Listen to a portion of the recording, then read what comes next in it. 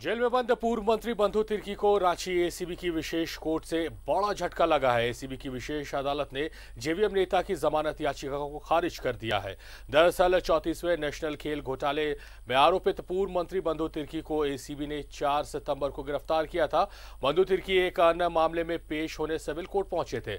इसी दौरान एसीबी ने उसे गिरफ़्तार कर लिया था। फ़िलहाल बंधु होटवार जेल में बंद है।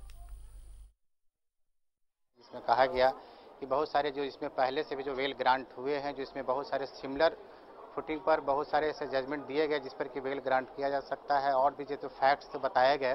लेकिन माननीय न्यायाधीश के द्वारा सभी बातों पर सुनने के बाद उन्होंने अपना निर्णय सुनाया और उन्होंने इसको वेल को खारिज कर दिया।